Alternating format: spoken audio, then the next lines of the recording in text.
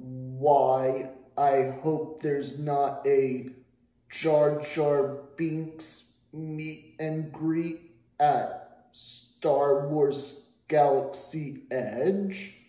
Jar Jar Binks, not the best Star Wars character, very annoying, a lot cooler Star Wars character than Jar Jar.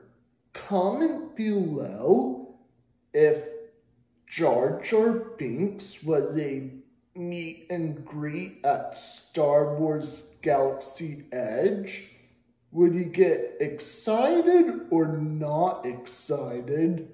Just be honest about it.